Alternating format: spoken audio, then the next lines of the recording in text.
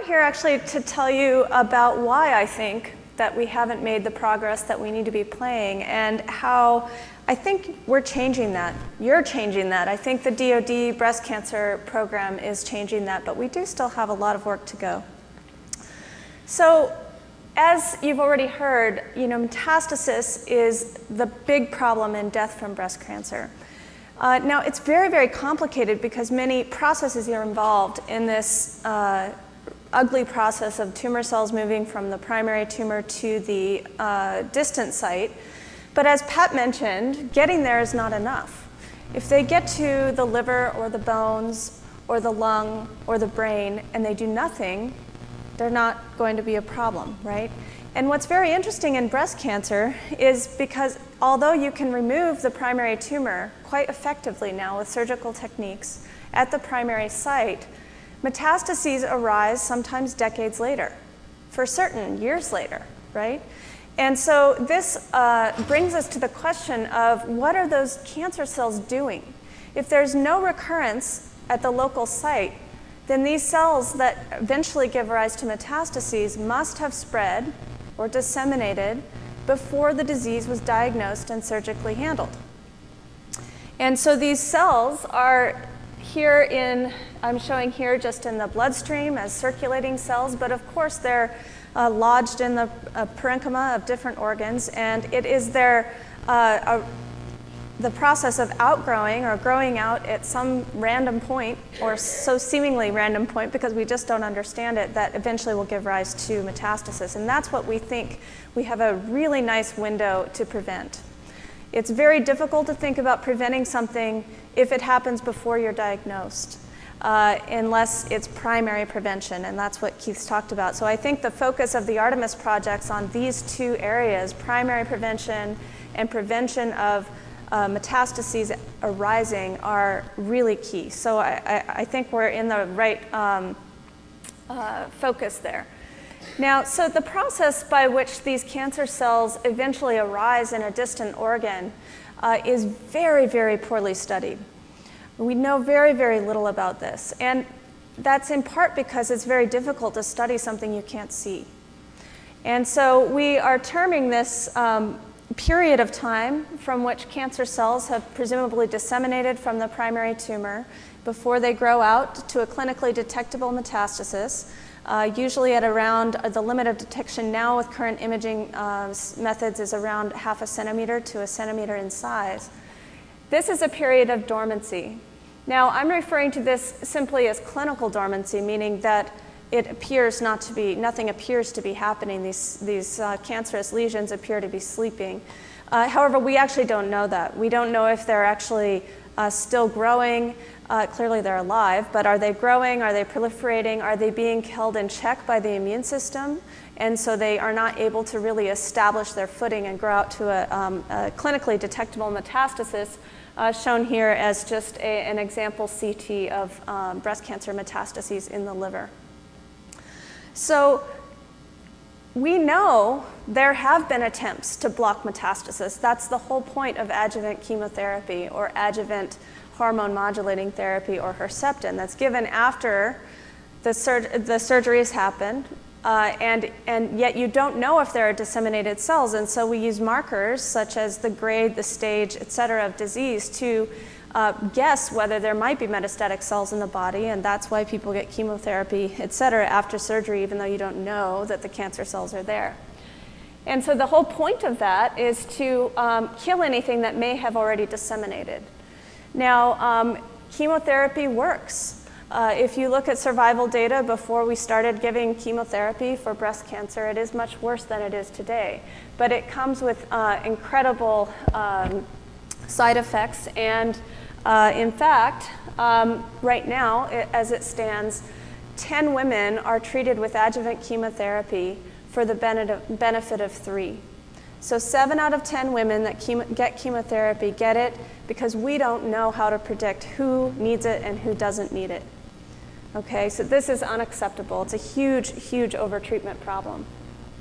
Now, of course, with the advent of a few tox- uh, targeted therapies, such as hormone modulating therapies and Herceptin, uh, these types of therapies, because they're designed to hit a particular target, uh, are usually less toxic and potentially they could be more effective. But the problem is you have to know the target, right? So we know about Herceptin, we know about the estrogen receptor. What else is there to know? And so I think that was the, the large hope that came out of sequencing efforts.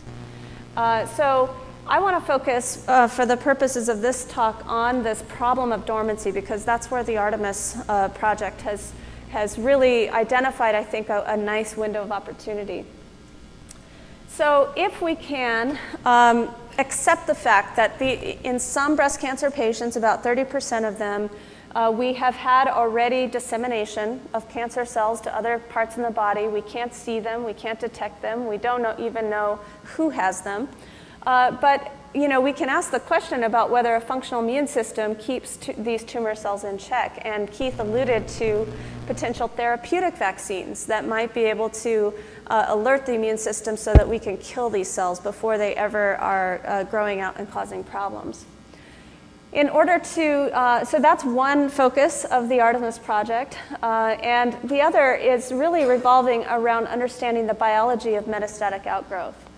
So, when you think about the question of what's going to dictate whether or not these cancer cells get their footing and grow out to be a uh, troublesome metastasis, there's biology going on in those cancer cells themselves.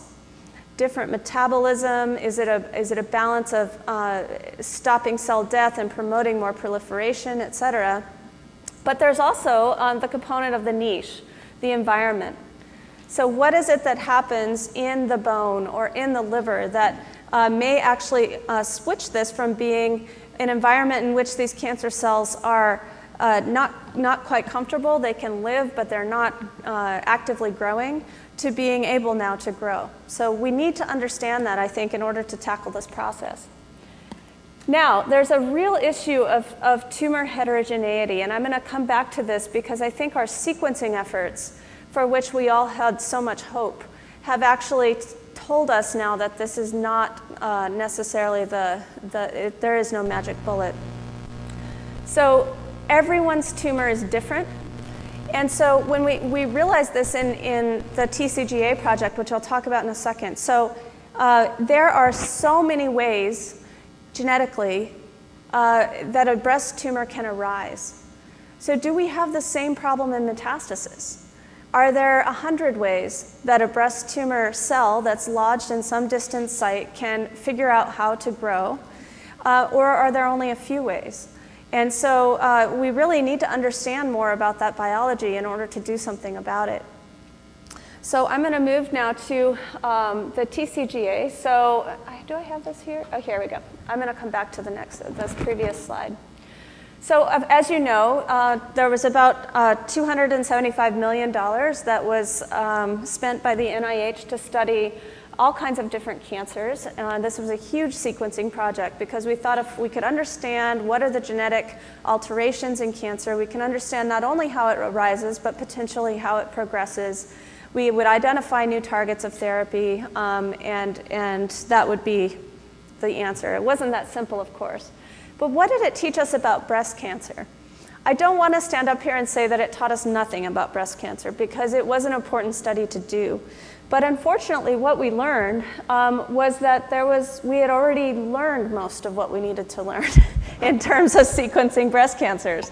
So we found uh, that, you know, there were mutations in a few genes that occurred at, you know, more than t- in more than 10% of breast tumors, common mutations, so to speak. Um, but these were genes we already knew about, right? These are P53, PI3 kinase, uh, GATA3, et cetera, ARID3A. And, um, you know, but what we really learned was that there was no magic bullet. So there were hundreds of other mutations that occur at less than 1% frequency. So when you consider the combination of the, that kind of genetic variation in each person's tumor, you realize that there's not a magic bullet. There's not a, a particular target that's going to jump out as another HER2 or another estrogen receptor. In addition to understanding the, the terrible heterogeneity of tumors, we also uh, don't actually know of all those mutations. Let's say someone's individual tumor has 30 or 40 mutations, which was around average. uh, you don't know which ones are actually driving that tumor and which are just passengers, just accidental mutations that aren't actually doing anything. Furthermore, of the mutations that you can see, you don't know which of them are going to actually be detrimental to that gene or protein function. Uh, in many cases, you can, you can predict, yes, there will be an amino acid change in the protein, but you don't know if that really uh, is driving the cancer. And furthermore, we don't have corresponding therapies for most of them. And in many cases, we don't even know how to generate a therapy because it's not an enzyme, it's not a kinase or something like that. So the bottom line is that every tumor is different. And you know, in hindsight, 2020, uh, this really explains why we've had such a hard time in, um, in developing new therapies for breast cancer. There's incredible uh, var- variation in response to therapy, which is why many people are getting you know, multiple lines of therapy, as, as Pat showed, especially in the metastatic setting. Um, and it also explains why we can't figure out whose tumor is going to recur as a metastasis and why we have this problem of overtreatment in, in chemotherapy. So if I go back now um, to the idea of, you know, are we going to have to treat every tumor and every individual differently? because everybody's tumor is different. Then this is the concept, I think, that uh, of precision medicine that was a huge theme at AACR this year, along with immunotherapy. I mean, these were the two uh, major themes of AACR. But when we think about it in breast cancer, I mean, uh, you know, the, some form of precision medicine has been already carried out for decades. Uh, in other words, each person's tumor is examined for histology markers and invasion, immunohistochemistry for ER, PR, HER2. So everybody's tumor gets characterized, and then the therapy is based on those results. Uh, we also, of course, um, uh, look at high risk families for different mutations and consider prophylactic treatment. So, in, to some degree, therapy has been personalized. So, what's really new?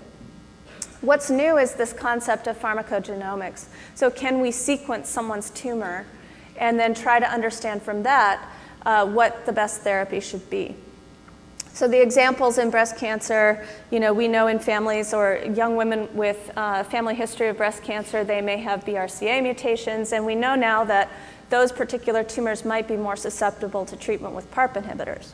So that's, that's one other concept of sort of a precision medicine. In addition, something uh, like a tumor that has a, a mutation in PI3 kinase for which there is a drug, the, that's the population of patients who would be more predicted to respond to PI3 kinase inhibitors, and that's how these trials are, are done currently.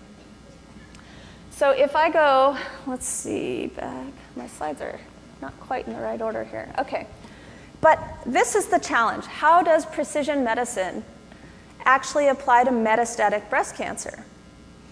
Does it do any good to sequence your primary tumor, knowing that it's going to be surgically removed and knowing how heterogeneous it is. Do we actually have any indication that the metastasis that is going to grow out to be a problem has the, those same mutations, right? So I think it's a huge issue that has been really overlooked in the field. We often are doing things, I think, because we can. We get primary tumors, we, we can sequence them, there's lots of tissue available, we can say something about that tumor. But we're not getting at the million dollar question, which is what is going to grow out? What about the cells I can't see? Right? And so we have to do the important experiment, not the experiment that is because we can do it. And so, do we need to think about more often biopsying these metastases, and is that what we sequence?